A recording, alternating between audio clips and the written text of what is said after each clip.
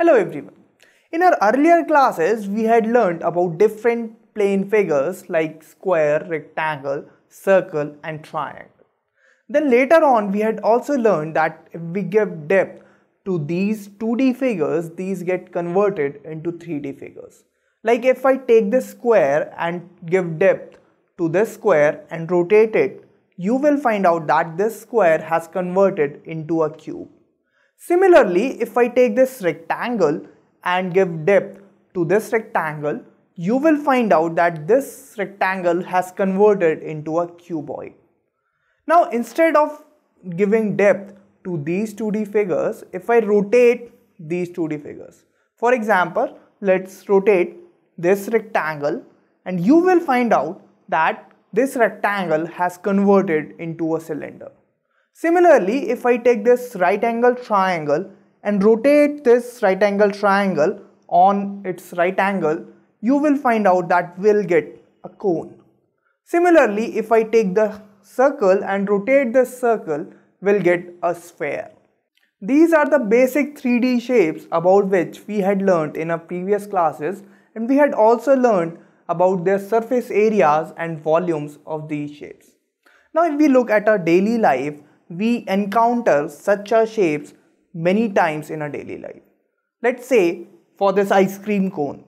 Now if I tell you the dimension of this cone, will you be able to find how much amount of cream is present in this ice cream cone?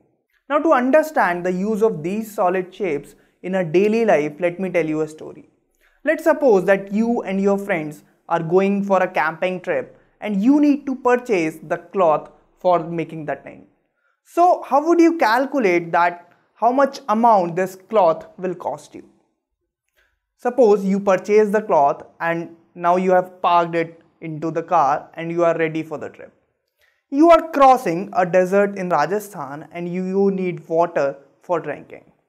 You find a shop in the desert and the problem is that there is an old man and the owner of the shop is not present there. So this old man don't know the price of the container, rather he knows the price of 1 liter of water. Now you are in trouble as the old man can't sell the container to you as he doesn't know the amount of water in it. So you can't continue uh, your trip and you are thirsty as well.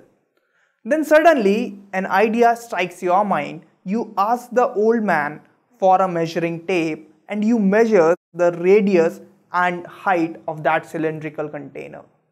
And then after finding out the volume of that cylindrical container, you tell the volume to the old man.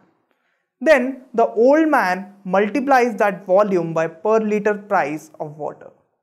So in this story, we had used the surface area of combination of solids in the first case in the measurement of the cloth and we had used the volume of combination of solids in the measurement of the quantity of water.